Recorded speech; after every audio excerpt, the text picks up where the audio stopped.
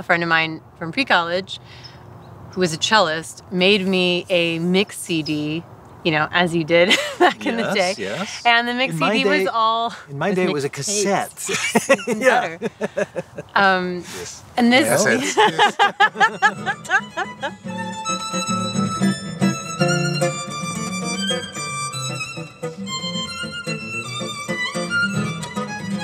Some of my favorite musicians are people who are difficult to describe in just a word or two. And these two folks both fit that bill. Lucia Micarelli is a violinist, but also a singer and also a performer and also an actor and so much more. Lucia, it's great to be with you. Thank you so much. I'm so happy. And Leo Amuedo, guitarist of wide ranging skills and wide ranging experience. Leo, it's good to have you here too. Thank you. So the two of you have such interesting different backgrounds. Leo, you were born in Montevideo, Uruguay. Yes, Uruguay, that's right. Yeah. and started playing guitar. What kind of music were you playing when you started out? Honestly, I don't remember because I was apparently I was like four or five Just- when I started just picking out grabbing the guitar. I think my yeah my brother taught me the first chords, and uh, I was actually doing rhythm first. That's that's actually how I learned. I was standing next to him, so he would play the chords, and I would just play The rhythm. rhythms with my right hand. Ah, Yeah, yeah, that's how so I. the two of you playing one guitar. He was yeah like playing like this, and I would stand next to him. that, that, that that's probably how I started. That's fantastic. But how I get into chords, I don't remember really. And your career has taken you from Latin America to the Netherlands to Brazil Right. and beyond, and here now, yes. and here now. Mm-hmm. And your career started off with violin, pure classical at, at first, right? Mhm. Yeah, I so I started in Queens. My mom took me to Suzuki, like the the local Suzuki school when I was three. She really wanted me to play piano, um, and they said that my hands were too small to start piano. I should come back in a year, and she was like, "What can she start today?" So yeah, so I started violin, and then yeah, we did. We moved to Hawaii. My family moved to Hawaii when I was five, but uh, I was already pretty serious and continued my studies. And then we ended up moving back to New York so that I could go to Juilliard. Juilliard pre-college. pre-college, Yeah. and then Manhattan School of Music with Pinchas mm-hmm. Zukerman. Mm-hmm. And something really interesting happened in your musical life around then. You're studying with Pinchas Zukerman, mm-hmm. straight up classical music, with one of the great violinists in the world. But you started going to clubs in New York and playing other stuff. Yeah. Tell me about that. I mean, I I so I never listened to anything except classical music until I was 17. It was actually right before I went to go study with Zukerman, like months before. Um, a friend of mine from pre-college, who was a cellist, made me a mix CD. You know, as you did back in the day. yes. And the mix CD day- was all. In my day, it was a cassette. Yeah. Um, Yes. and this Yes. Um, and the CD was all classic rock and jazz.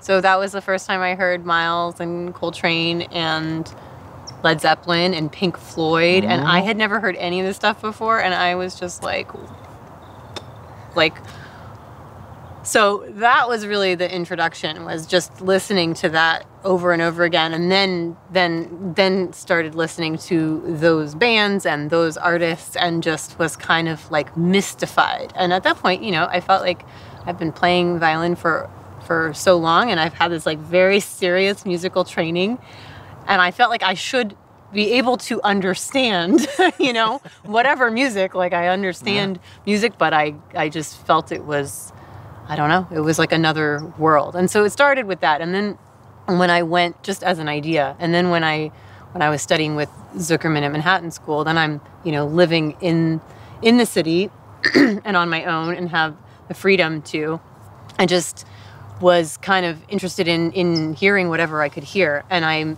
I saw somebody, I met um, a cellist named Dave Eggar, who I saw him. I I was at a reading party with him, and we like read a Shostakovich quartet, and then everybody took a break, and he went off in the corner and just started improvising. And I'd never seen anybody do that before. So I just like went up to him and was like, "What are you doing? And can you teach me how to do that?" And so just through that started being interested in improvising, listening to other kinds of music, and then through him and just being in the city, eventually started sort of sitting in with bands and other other genres of music just to to learn. Um, and so that was that was how it all started. It was just I was just very curious, and then Curiosity, that's the key, that curiosity. There are a lot of classical musicians who are interested in other kinds of music as listeners, but say things like, oh, I would never dare to improvise a, a solo over a B flat 12 bar blues or something. There's, there's a mental leap that has to happen mm-hmm. to get off the page mm-hmm. for a classical musician. yeah, unlike with this guy, where that's just how he understands music. I mean, we have conversations about improvising all the time, mm-hmm. all the time. Yes, where he's like, "Come on, Lucia, just improvise," and I'm like, "It's so scary." Yeah. All right, we could. I, I'm fascinated by both of your backgrounds, and we mm. could spend a lot of time on that because I, that multi-genre approach I, I love and admire in musicians. But I'm curious how the two of you started playing together as a duo. And we, we haven't even mentioned that you're singing now too. So mm-hmm. this duo of guitar and violin, guitar and voice. How did this start to happen? I think it started actually. We got together a few times in my house, and then we started playing some of our favorite songs, some Brazilian stuff, and and then we decided to film that and put it on YouTube just for fun, and uh, using one mic, like. Uh, so we did one video, and then we did another video. Like every week, we got together, just you know, to just to play, and and then we find out slowly. We started to find out that we actually but first of all, we love doing that, and also the reaction of the people were really positive. And just to, to some of the basics, it's guitar, mm-hmm. acoustic guitar, and you're both singing and playing violin. Mm-hmm. And the music that you're playing is drawn from quite a variety of sources, mm-hmm. such as I mean, it's- Brazil, right? A lot of Brazilian yeah, I mean, stuff. it's really just like our different.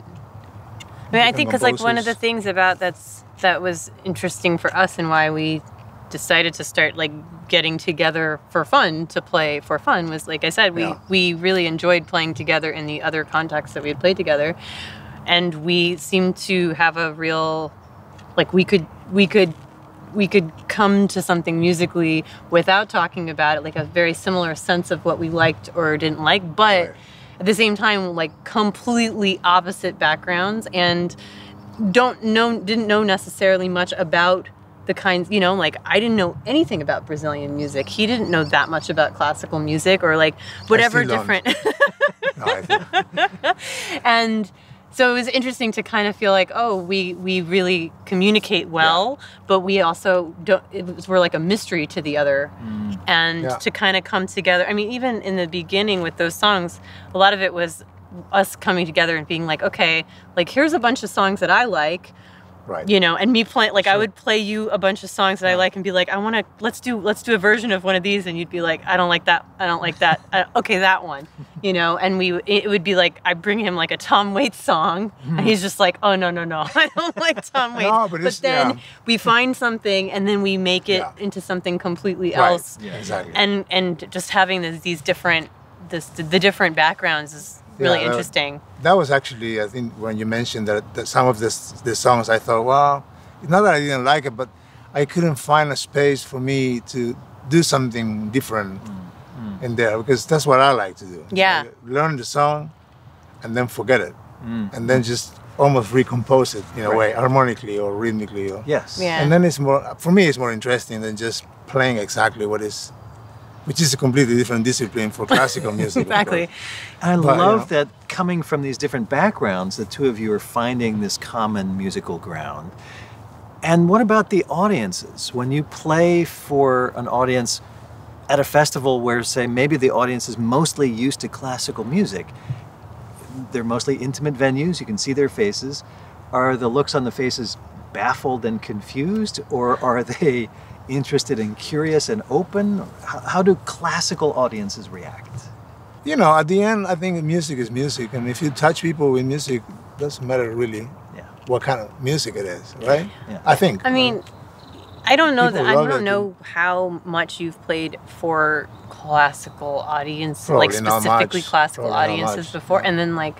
I have experience playing for classical audiences, but I also have a lot of experience playing for non-classical audiences, and I really just same I same goes for the music in and of itself. Like there's the audiences and the music and the genres and the labels and the blah blah blah. Like I just really don't think that any of it matters as much as some people still think it does. Like I really think that the way that people consume music these days and listen to music like I remember when I, you know, I'm old enough to be like, I remember back in the day. But I remember like when I first started touring, this was before streaming.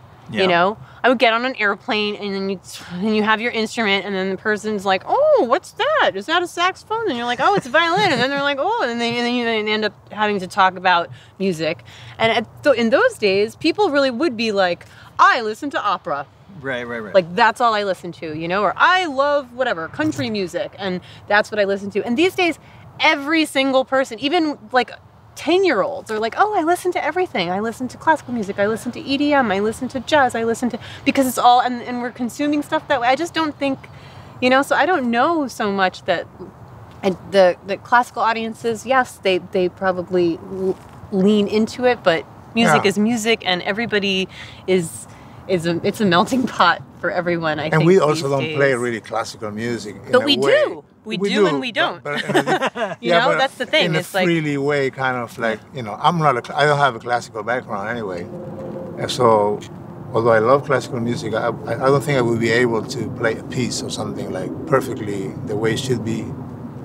You know, I'm gonna just, I'm gonna change it probably, and and you so do what you do, yeah. yeah, I mean, what I'm saying is like playing for a classical audience, like really classical music, is probably an experience different than what I have. Mm-hmm. You know, Well, that's that's what I love about this festival and this place, and what you're bringing to it is really not, as you said, not being concerned about the labels, the genres.